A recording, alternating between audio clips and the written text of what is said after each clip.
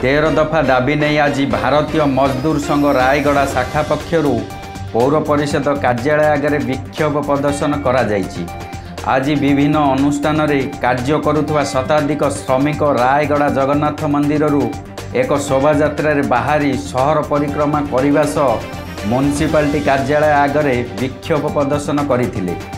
ସମାନ କାମକୁ ସମାନ ଦରମା ଦେବା ସହ କାର୍ଯ୍ୟର ସମୟସୀମା ନିର୍ଦ୍ଧାରଣ କରିବାକୁ ଦାବି କରିଥିଲେ। ସେହିପରି ଶ୍ରମିକମାନଙ୍କୁ କୋଭିଡ୍ ଆଇନର ସମସ୍ତ ସୁବିଧା ଦେବା ସହ ପିଏଫ୍ ଓ ଇପିଏଫ୍ କାର୍ଡ଼ ପ୍ରଦାନ କରିବାକୁ ଦାବି କରିଥିଲେ। ମଜଦୁର ସଂଘର ରାଜ୍ୟ ସମ୍ପାଦକ ଅଛି ମୋ ନାଁ ଯୋଗେଶ୍ୱର ଦାସ।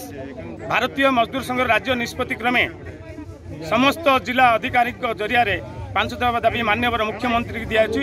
ଏହି ପରିପ୍ରେକ୍ଷୀରେ ଆଜି ରାୟଗଡ଼ା ପୌର ସଂସ୍ଥା ମାନେ ନିର୍ବାହୀ ଅଧିକାରୀଙ୍କ ଜରିଆରେ ଆଜି ଆମେ ପାଞ୍ଚ ଦାବି ପ୍ରଦାନ କଲୁ ଏବଂ ରାୟଗଡ଼ା ସଫରେ ଜିଲ୍ଲା ସଫେଇ ମଜଦୁର ସଂଘର ଚଉଦ ଦଫା ଦାବି ମଧ୍ୟ ପ୍ରଦାନ କରୁଛୁ।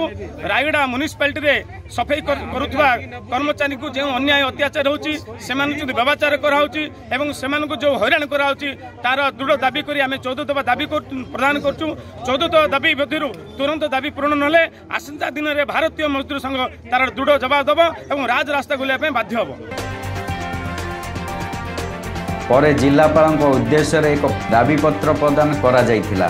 ତେବେ ଶ୍ରମିକମାନଙ୍କ ଦାବିକୁ ତୁରନ୍ତ ପୂରଣ ନ କଲେ ଆଗାମୀ ଦିନରେ ଆନ୍ଦୋଳନକୁ ତୀବ୍ର କରାଯିବ ବୋଲି ଭାରତୀୟ ମଜଦୁର ସଂଘ ପକ୍ଷରୁ କୁହାଯାଇଛି।